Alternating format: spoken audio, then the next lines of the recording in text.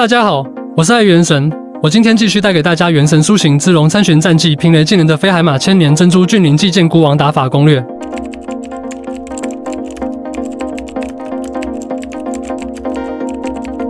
第一次高难活动最后一关，点任务追踪，来到海麻 BOSS 处。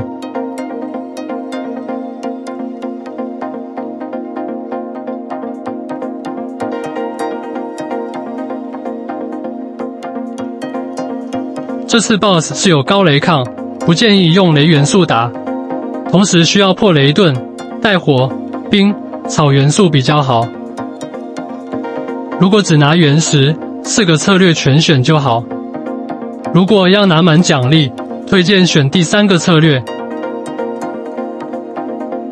P 开打之后，雷牛板姐 BOSS 胸前出现雷盾。可以用 T 技能或一点盾桥，然后就是对着 BOSS 胸口打猛烈烈烈冰雷元素攻击，大破掉雷盾，BOSS 就会瘫痪。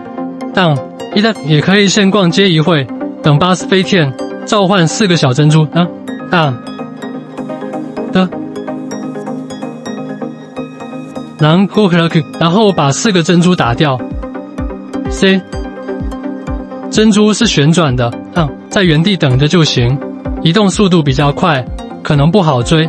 四个小珍珠击破之后，可以把 BOSS 解会瘫痪，变得火趁机输出即可。阿美尼个 Tick 都看到这里了呀，求个免费的点赞呀！C 哼呀哈，拜拜。